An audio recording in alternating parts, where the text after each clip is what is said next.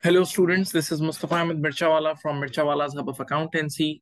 Uh, today, we are going to discuss the orientation of F6TX, that is ACCA paper, right? Uh, before we move on, let me share something about me. Uh, I've been teaching for last 18 to 20 years now. And I not only teach this paper F6TX, but I also teach F3, which is FA. I also teach uh, F7, which is FR, financial reporting SBR strategic business reporting, and also ICAEW corporate reporting.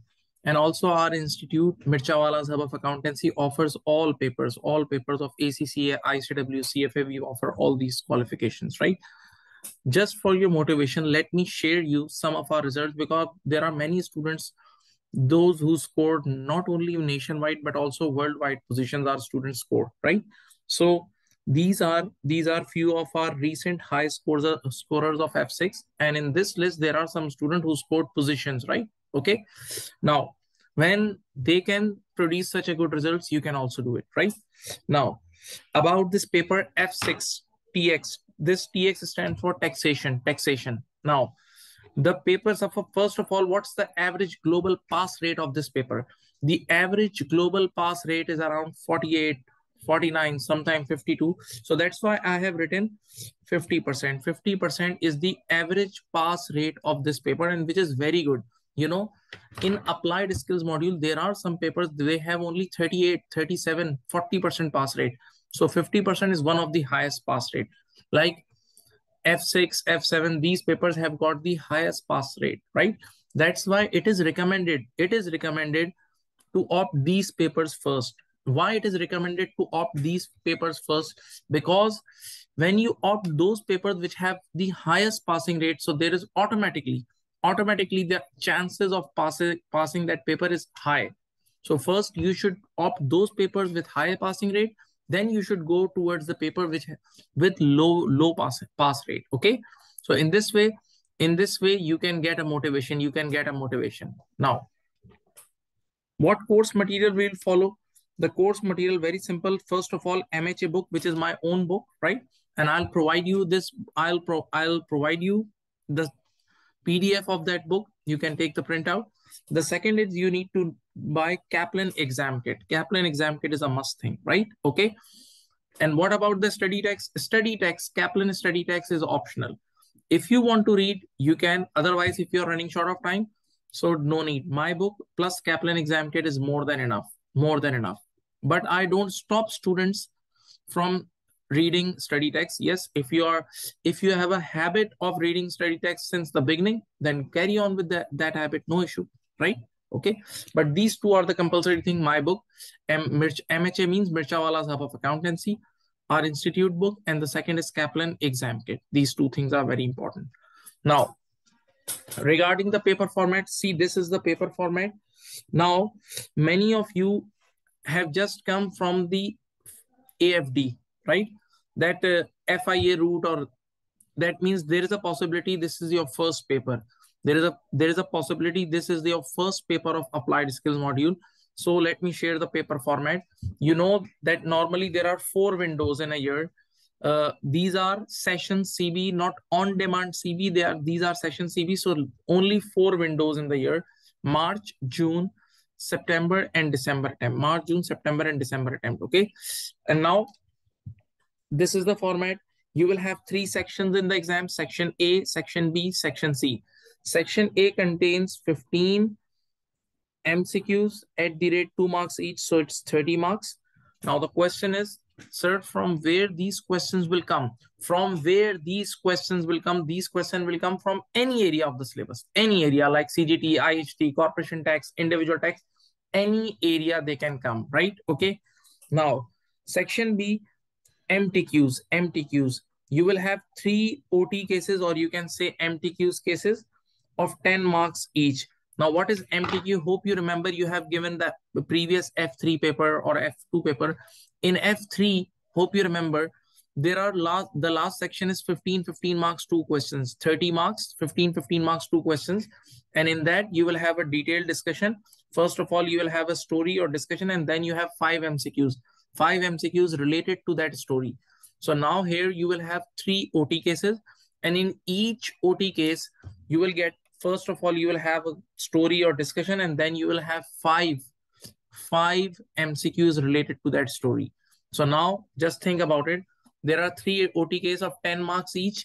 And what is one OT case? In one OT case, you will have five MCQs, five MCQs or five blanks at the rate two marks each.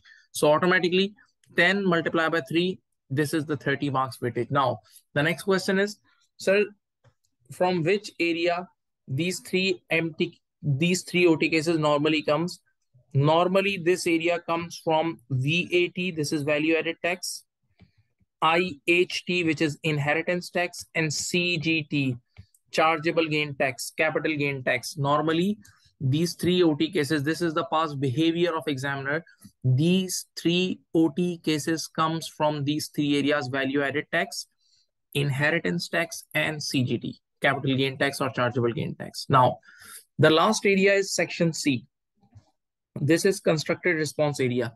Now, my dear student, in first 60 marks, there is no presentation. You just have to take. There is no presentation. There is no typing at all. But yes, la last 40 marks, this last 40 marks, you have to work, you have to work on proper software. Now, many students think that it is proper Excel. No, this is not Excel. This is just spreadsheet. This is just spreadsheet in a spreadsheet my dear students you just need you just need first of all you need typing. You under you must know the typing. Then you need the sum you need how to apply the sum function subtract function multiplication and division. If you know these things you can easily work on this last 40 marks. So it's not a big thing. Plus in our classes in my classes i'll also i'll also show you how to do it. I will also practice this thing right? Okay? So now in the section C, there are it's 40 marks section because obviously first 60 marks, there are two sections, section A and B. So in section C, you will have three questions. The first one is 10 marks, then 15 marks, and then 15 marks. This 10 marks normally comes from tax planning area. This 10 marks normally, normally, this is the practice of examiner, but yes, examiner may change it, may change it, right? It normally comes from tax planning area. Now, what is tax planning? Tax planning is very interesting thing. For example, for example, I have to start a business. So I have one option that I start the business with my own name like a sole trader, like a sole trader. So everything will be on my name, individual name, right? Second option, I can start the same same business with the name of a limited company. Let us say I incorporate a limited company and I become the shareholder of that company. So now that business will run with the name of company. And now, yes, I will, I will have to apply corporation tax rules as well. Okay. One more example. Now, let us say I have started the business with the name of company. I have started the business with the name of company. Now, how to extract funds from that company? The first option is I may become the shareholder of that company. And now as a shareholder, I can extract funds. I can extract funds in the form of dividends. Yes, this is the first option. Second option, I become the director of that company. And yes, the directors are employees of that company. And now I can take out salary. I can take out funds from that company in the form of salary. So see, there are different options. There are different options. So we have to decide, we have to decide and we have to go for the best function. We have to decide and we have to go for the best function. We have to go for the best of the best function, right? And it's very interesting area, 10 marks. The second area in section C is corporation tax, corporation tax about companies. If let us say a company is doing business, a company is earning trading income, a company has different properties so companies might have earn might be earning rental income or company has different investments in stock exchange and other so company may have capital gains. So you will have a complete scenario of companies of 15 marks okay? Right plus you will have some area of group of companies as well group of companies like parent subsidiary fellow subsidiaries this type of things are also may also be examined in the exam but this is a good area finally Question number three, again, 15 marks, but it's about individual income. Individual income. Now think, use your brain. Individual can go for job. Yes. So if an individual is going for job, so that individual is earning employment income. that individual is earning employment income. So in that case, in that case, a student, you will have to pay tax on employment income. So yes, employment income may come. Employment income may come in this question, yes. Secondly, individual may start a business. So if, if individual is doing a business, so in that case, students, he will be liable for trading income. His income will be trading income. So he may have to pay tax on trading income, right? So normally in this 15 marks, you get you sometime get pure employment income question, sometime you get pure trading income question, and sometime you get the combination of employment plus trading income. Employment plus trading income, right? Okay. Now, student, the benefit of this paper, They listen me, listen to me very carefully many students get the knowledge of text from this paper and then they start working for for different firms different uk firms because you know this is the time of outsourcing. This is the time of back office. Like for example in uk different companies different companies have to apply in uk obviously they have to apply uk tax all companies. So different audit firms provide them services and these audit firms hire employees worldwide, worldwide. Like from our country, in Pakistan, there are many, many of my students are giving services to UK entities. In India, I have many Indian students as well. My Indian students also providing services to UK companies. So after this paper, you can you can you get the tax knowledge and you can apply it. You can apply it. You can file tax returns of for your clients or different audit firms, right? Okay. So it's advisable to start working once you do it start working and start start getting experience and start earning right? Okay. Now we are starting with in in it's my routine since last many years that in my first orientation class i start teaching. I start one chapter one theoretical area. Now normally this is a three or four pages. If you see the bpp study text or kaplan study text this is your first chapter and it is hardly three to four pages. And normally believe me or not believe me normally students used to this was the past practice of students they used to think this is non-important area this is not an important area like if you have seen f3 study text in f3 study text you have you seen the first chapter introduction to accounting what is accounting so normally students ignore that chapter but believe me, this chapter came many times in last 10 years. This chapter is very general. It's about F1. You remember the BT paper, BT paper, your previous. It's about economics and all general discussion, but this thing even may come in exam and it comes in exam. Okay. So that's why we have to give time on it, but it's very easy. It's all theoretical discussion. Now, first of all, you all, you students, you all know there are two types of taxes, direct tax and indirect tax. There are two types of taxes, direct taxes, direct tax and indirect tax, direct tax and indirect tax. What is direct tax?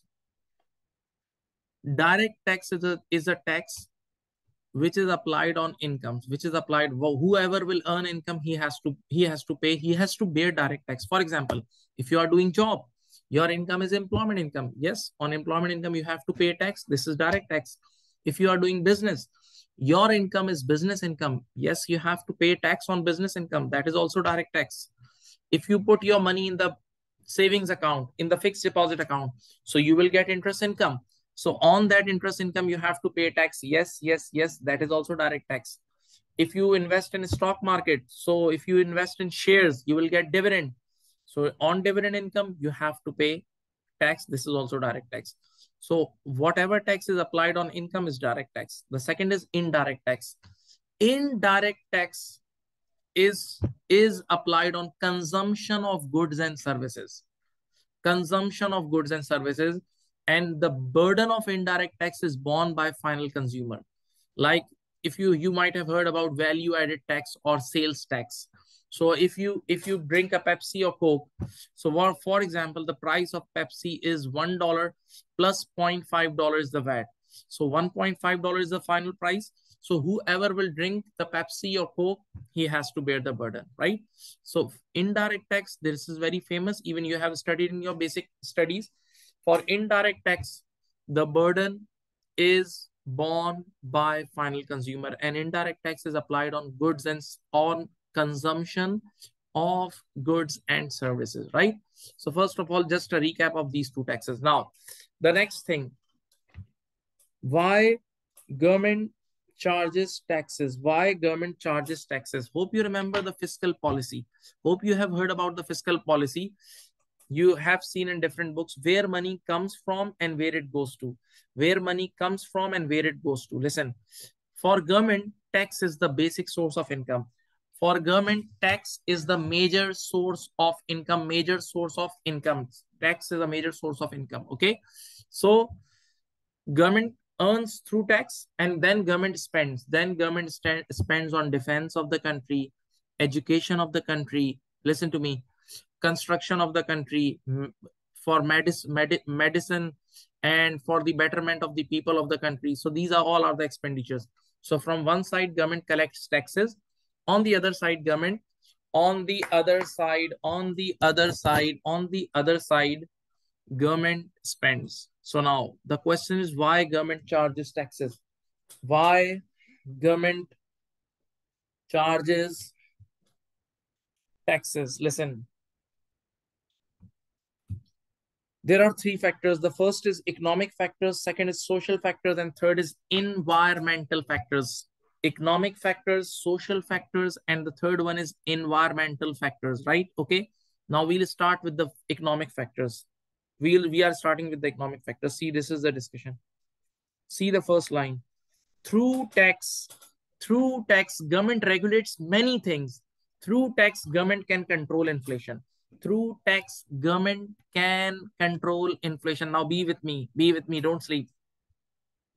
Hope you remember Hope you have seen this. Disposable income, disposable income is equal to income less direct taxes. Disposable income is equal to income less direct taxes. Now take a basic example. For example, there is a guy who's doing job and his income, his gross income is 10,000. And right now on this gross income, on this employment income, he's paying tax of 2000, right? Direct tax of 2000. So how much he gets at home? He gets a take home pay. He gets a take home pay of 8000. He gets a take home pay of 8000. Now this 8000 he can spend or he can save. He can spend or he can save, right? Okay. Now wait. For example, let us say suddenly government announces that the direct taxes will be increased now government doubles the direct tax so previously this direct tax was only 2000 previously this direct tax was only 2000 now government increased this direct tax to 4000 now use your brain now the moment government increase the direct tax the moment government increase the direct tax listen here so as these direct taxes went up as these direct taxes went up, the disposable income went down. As these direct taxes went up, the disposable income went down. And when the disposable income came down or went down, so for the whole public, their incomes are low. Their incomes are now low. So when their incomes are low, obviously now they can spend only few on few things. When the when direct taxes increases, see, when direct taxes increases, disposable income decreases. And when disposable income for the whole country decreases, so obviously now they can demand less goods. So overall aggregate demand of the country, country will go down. And whenever you know the rules of economics, whenever the demands go down, obviously price level will go down. And once the price level will go down, inflation will be in control. So yes, government can control inflation through tax. See, through tax, government control the inflation. So these are the economic objectives which government achieves. Government achieve, government see, through tax, government can control inflation. Government can control inflation, right? Now, skip this first B point and come to C. Through tax, government can regulate any market. Yes. For example, if government wants to increase the stock market, government wants to attract investors towards the stock market, so government can announce tax cuts. Tax cuts, if government says now for the next year, there is 0% tax on stock exchange. So everybody will come to stock exchange. See, So through tax, government can government can shoot any market and government can destroy any market as well. In past, we have seen in different countries, sometimes government increases the tax rate for residential properties. Sometimes government increases the tax rate for residential properties. So automatically people will run away from the residential properties. So the prices will automatically go down. So government can regulate prices through tax as well. Okay. Now the B point through tax, government can control supply of money. Hope you have listened this word in, in economics. Through tax, government can control supply of money. Now wait. You know, this is very basic thing. Whenever interest rate, interest rate in any country goes down, whenever the interest rate in any country goes down, so people just run away towards money. What people do, they start taking loan, they start consumer financing, they buy homes because now the interest rate is low, the cost of borrowing is low. They start buying cars on lease and all. So automatically when interest rate goes down, people start borrowings from bank. So a lot of money, lot of money supply in the country. The money supply in the country increases and people start buying more things. So automatically the demand aggregate demand goes up aggregate demand goes up because now a lot of money in the hands of people right? Because the interest rate is going has gone down. But because a lot of money in the hands of people so people will buy more. When people will buy more so aggregate demand aggregate demand of the country will go up. So the inflation may also go up. So now what government does? Government increases the interest rate. Government increases the interest rate. So now whenever government increases increases the interest rate. So automatically the cost of borrowing is high.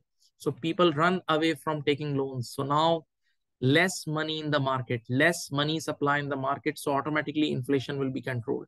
This is how economics work, right? Now, what I have written through tax, government can control supply of money.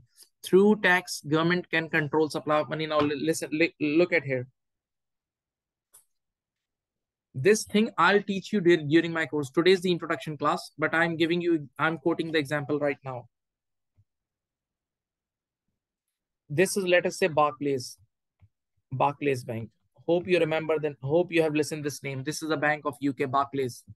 And this is individual saving account, individual savings account. Listen, students. Okay. This is also in UK if you invest your funds in Barclays, you will get interest income. If you invest your funds in Barclays, you will get interest income. But yes, on this interest income, let us say you have to pay 40 or 20% tax. If you invest in any private bank, if you invest your funds in any private banks, yes, you have to, you will get interest income. And on that interest income, you have to pay 20% or, or 40% tax, 20% or 40% tax, right? Okay but if you invest in this account this is this account is regulated by uk government uk government. If you invest in this account the returns are tax free the returns are tax free you don't need to pay any tax on on this account investment. On if you invest in individual saving account you will be receiving interest income and on that interest income no tax. So just think the whole uk people will automatically get attracted towards this individual saving account so when all the people will be attracted from towards this account, so people will invest, listen to me, people will give the money to, to the government. So automatically, automatically the whole money of the city will come to the government. So automatically the supply of money, supply of money will be under control of government, right? So yes, government just control the supply of money through tax. Government just control the supply of money through tax. So yes, it is possible.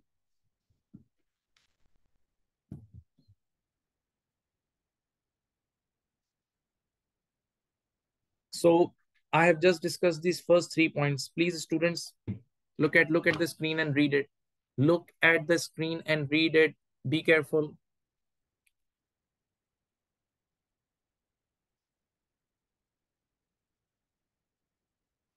Now, the fourth point, through tax, government can control traffic. Yes, that's that's very common. Uh, you might have seen in different countries of the world, like in Singapore, I have seen this. UK, in UK, there is a very famous street, Oxford Street. Yes, So a lot of brands shops are there and UK government wants to avoid people to come in car because already people walks a lot at that place. So if you just drive one time on that road, you will have to pay a tax like 30 pounds or 50 pounds. It's too much. It's too much. So automatically people don't come on that street in cars, they come by walk. So see, through tax, government control traffic as well. Through tax, government can control traffic as well. Now, through tax, government can motivate us for investments. Yes, this is very normal. you sometime attract foreign investors through tax. You invite them and you tell them that come, come to our country and invest and we'll give you a big tax cut. Okay. Even in our in our course, I'll teach you this, that listen to me. Sometimes you sell your existing asset. Sometimes you sell your existing business asset and if you take that amount to your home and enjoy with your family, government won't give you any, any relief. But yes, you sold your existing asset and you got some proceeds. And if you have reinvest, if you have reinvest those proceeds in another business asset, so you will get a big relief. This is a, this is this is the part of our course. So just think through tax, government is motivating you to reinvesting. Government is motivating you to reinvesting. So these all are my dear students economic objectives. These all are my dear student economic factors. I've I haven't discussed the other two yet, but I've just discussed the first one, which is economic factors. So in short, to cut the story short, government government achieves government achieves many economic objective through tax through tax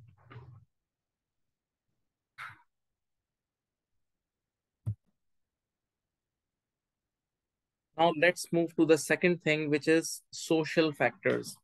You know why government charges, you know why government charges tax? Because one of the major objective of tax is re redistribution of income. Redistribution of income, redistribution of income, right? Like redistribution of income is means collecting funds from rich and spending on poor. This is the best thing, right? Redistribution. So now Hope you have studied your previous paper, which is BT, BT or F1. In that paper, you have discussed these three tax system, progressive tax system, proportionate tax system, and regressive tax system. Now, what is progressive tax system? Progressive tax system means, means as your income increases, your tax rate also increases. As your income increases, your tax rate also increases. For example, take giving you one example. 0 to 20,000 20,000 to 60,000 and then 60,000 and above. It's 10%, 20 and 40. So that means for first 20,000, your tax rate will be 10%. The additional income between this band, your tax rate will be 20%. And if you're earning, earning more than 60,000, so for additional income above 60,000, the tax rate is 40%. So this is an example of progressive tax system, right? What does it mean? I repeat, it means as your income increases, your tax rate also increases. As your income increases, your tax rate also increases, okay? Now, the second is proportionate tax system. Proportionate tax system means same tax rate, not same tax. It means same tax rate. For example, if you are earning 100, 100,000, let us say there is a fixed tax rate of 10%. So 100,000 times 10%, you have to pay 10,000. But if you are earning 300,000, now again, you have to pay fixed tax rate that is 10%. 300,000 times 10% is 30,000. So tax rate remains same. Tax rate remains same. Tax rate remains same, right? Amount of tax may change, but tax rate remains same. So I repeat, the first system, the progressive tax system. So the progressive tax system means as your income increases, your tax rate also increases. As your income increases, your tax rate also increases. Proportionate tax system means same tax rate. Proportionate tax system means same, same, same tax rate, same tax rate. And what is regressive tax system? Listen, as your income increases, your tax rate goes down. Now, this is very bad for poor people. This is very bad. So read this line. indirect taxes are tends to be regressive in nature. Indirect taxes are tends to be regressive in nature. Now giving you one example, giving you one example, listen. For example, my income is $100. My income is $100 and let us say I go to a restaurant to eat food. So whenever or i go to buy a pepsi. Just take an example. I go to buy a taxi, uh, pepsi. So in pepsi there is a gst or value added tax of two dollars. So i'm earning hundred dollars and if i buy a pepsi i have to pay two dollars. Now can you take out the percent? It's two percent of my income. That means i'm paying two percent tax. As i'm earning hundred dollars and i'm drinking pepsi and there's a fixed gst there is a fixed vat of two dollars on that pepsi so on me on me it's 2% now there is a rich man he's earning $1000 he's earning $1000 now if this rich man goes if this rich man goes to drink the pepsi that rich man also has to pay $2 because the gst is fixed. So now he has to pay $2 now what is the percentage? It will become like 0.2% or something 0.2% or something. So just see just see as the income increases, see, income increases from 100 to 1000, the tax rate is going down. As the income is increasing, the tax rate is going down. So that's why indirect taxes are regressive in nature. Indirect taxes are tends to be regressive in nature. Indirect taxes are tends to be regressive, regressive in nature, regressive in nature, right? That's why in good countries, they don't apply indirect taxes on necessities. Listen, think over it. Because necessities are consumed by poor people as well. So it's good if you are applying indirect taxes on luxuries because luxuries are used by rich people. So it's better. But on necessities, it's it you should not company country should not apply indirect taxes because necessities are used by poor people. And you can see with this example that indirect taxes are tends to be regressive in nature. And what do you mean by regressive? As your income increases your tax rate goes down. So there are three tax systems students look at here progressive proportionate regressive. Progressive means as your income increases your tax rate goes down. Proportionate tax same tax rate regressive as your income increases your in, interest your tax rate goes down okay? Now there is one word which we called compliance cost. It is also written in the book compliance cost. Compliance cost means cost in the form of formalities time etc for example listen let us say you have to pay the tax. So what what is the procedure? First go to this department take one form, get it signed with the 18th grade officer, then go to this window, then go to this, then this, this. So if there are a lot of formalities, lot of things to do before paying tax, so people will run away from this tax system. People won't pay tax. People say, we don't have that much time for formalities. That's why now in this world, in this fast world, people are, governments are going for one window solution and government are going for online taxes. Online taxes like everything is online. You, you can file your tax return online. You can pay tax online. Why government is introducing these things? To reduce this compliance cost. Because my dear student this compliance cost is one of the reason why people don't pay tax. Even they have money. Even they are willing to pay tax. But when they say the compliance cost the time consuming things they run away from the tax. Okay? So don't forget See, I've written here, lesser the compliance cost, more the taxpayers are. So we were discussing three factors. The first one, why government charges tax? Why government charges tax? The first factor is economic factor. Economic reasons I have discussed. The second is social factors. In this social factor, we discussed the redistribution of income. We discussed the three types of taxes, progressive, proportionate, regressive. And now, finally, the environmental factors. Listen, through tax government control the environment. Through tax government can control the environment. Government can control the pollution right? Even nowadays very famous thing is climate change. Climate change is hitting the whole whole earth you can see in developed as well as developing nations. Developed as, as well as developing nations. So all the governments are working on low emissions or zero emission cars. So now just you think, let us say if you buy, let us say government can make a policy. If you buy a car with high CO2 emissions, so you will have to pay a big duty, a big tax. And if you buy a zero emission car or if you buy electric car, that means now you are you are good for the society you are good for the environment. So government may say you that don't no need to pay any duty no need to pay any tax. Government can waive your tax. So see through tax government can control environment as well through tax government can control environment as well through tax government can control environment as well now the last topic of today's class. These two words are written. These two words are written on in your book and it comes, it, it, it has been examined many times. Tax evasion and tax avoidance. Tax evasion and tax avoidance. Now what your book says. Tax evasion is illegal way of tax saving. Tax evasion is illegal way of tax saving. And if you if you are caught if you are caught by tax department doing tax evasion you will be penalized or you will be punished you may be punished right what is the example example is hiding your actual income for example your your real income in this year is 10,000 pounds. Your real income in this year is 10,000 GBP, 10,000 pounds.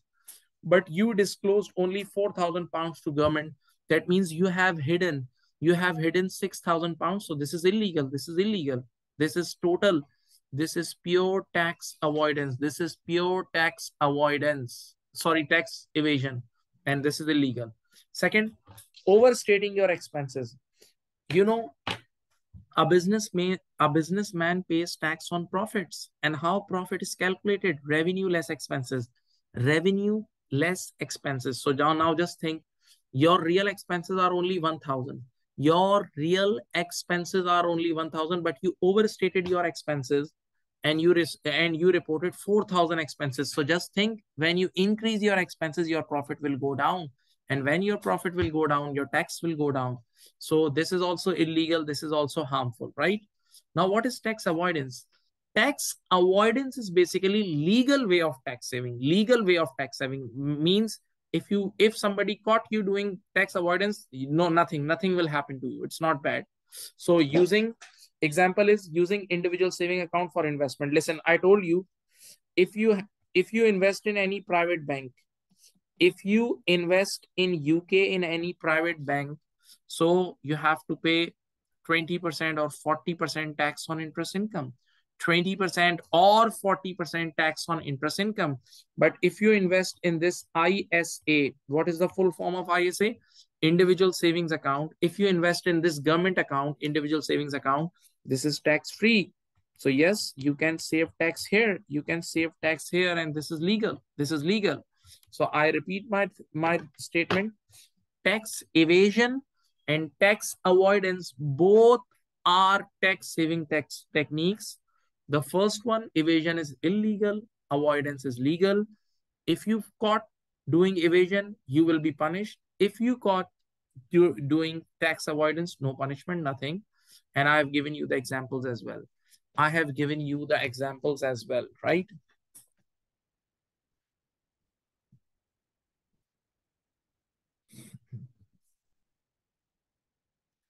Now, my dear students, finally, I would like to say this is your first orientation class and I'm very motivated, very excited to welcome you on board of, for our institute.